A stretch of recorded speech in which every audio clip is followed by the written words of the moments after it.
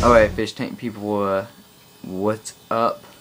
Um, this is the uh, aquascape, how to aquascape a, a cichlid tank. First of all, I very much so uh, recommend that you use sand. It might be a pain in the butt to wash, and you you go to the uh, pet stores and they're like, oh, it's 20 bucks for 15 pounds of sand do not buy that crap. Go to Home Depot and get some, uh, go get some uh, play sand. You can get 80 pounds of play sand for 5 bucks. I still have some left over and I've got that tank filled with sand and that tank with filled with sand and this tank filled with sand. So, and I still have more than half a bag left. So, go with sand. Just wash it in a bucket. Uh, I think I have a video on that. I'll put that in the description. Uh, actually, I, you're gonna have to skip through it. So I'll do a video later on that, on washing sand. Uh, but just get some sand, make sure, and then go get some rocks. Best rocks for uh for cichlids. It depends on what kind of cichlid you get. First of all, like this one. Let's see if he'll run off. This little guy right here, uh, peacock. You can get you can get uh rocks for him if you want to, but he's not going to dig like the Mbunas are, or the Mbuna back there. So the the yellow, uh, electric uh, yellow. So just remember that if you get a peacock, he's not going to dig like you're thinking he is. And this is not a species Sunday or anything like that, so I'm not going to elaborate on that. But get rocks. This is sandstone. It's okay. It's not the best. If you want the uh, cichlids to have babies and stuff like that, get slate. Slate is the best thing. I have some out in the car, but uh, it's too.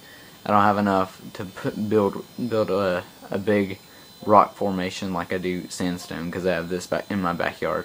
So I have sandstone. Sandstone. Do not use. I mean, you can. I mean, it's your tank. You can do whatever. You can use these. Just don't build like a like a levels. Just put them down in the sand and like stack them, and it will make caves on its own. But uh, it's normally in the middle. Do a, a middle formation. See how it's in the it's in the middle, and you've got room on the back.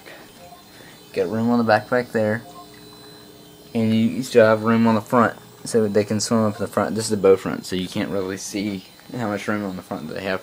I probably could have added a little bit more room on the front, but I did not. Uh, do you see how this fish, these fish are barely squeezing in that hole right there? This is Synodontis right there. But, I mean, like, this fish right here, and that fish, and that fish, and the zebra, the only one you can, that can fit in that hole is the yellowfish.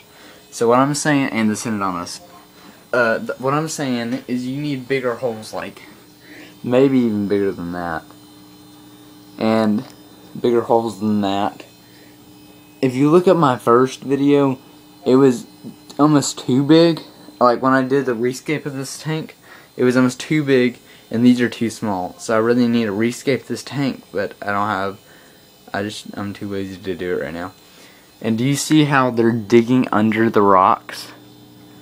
This side of the rock is on the on the ground on the bottom, but that side is not. So, I mean, if they they can dig under dig under the rocks, and then the formation will fall on them, and it might hurt them. So what I'm saying is, before you even put sand in this, you need to make the rock formation and then put sand around it.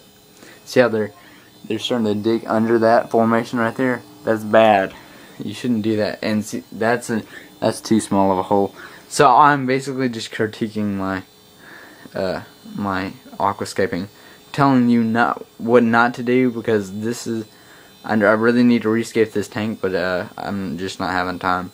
So, and what I do, and I, I ran this airline tubing, and if you're doing aquascaping, uh, you need to put I put there's an air stone under this so just in case emergencies, uh, I have that air stone just in case because I, it doesn't look as natural as I thought it would. So I can just hook up that air stone and it's good to go. And it doesn't look it doesn't look like it's in the way or anything like that. Um, that's basically aquascaping a cichlid tank. Uh, aquascape it whatever you want. I mean, if you whatever rocks. I mean, if you want to put those rocks in it, you can put those rocks in it. If you want to put any kinds of rocks, it really doesn't matter. If you want to just do fake plants, even though I hate plants in a cichlid tank, I just don't like plants in a cichlid tank because they shouldn't be there. Uh, but no, not dogging on anybody or anything like that. But uh, I mean, there you go. That's what I mean. That's what I think of a cichlid tank. That's what I think it should look like right there, in my mind. Uh, hope you guys enjoyed this video. Subscribe if you uh, like my videos. I normally come out with one every week. Uh, I'll have a link to my channel. And uh, check out fishtanktv.com. See you guys.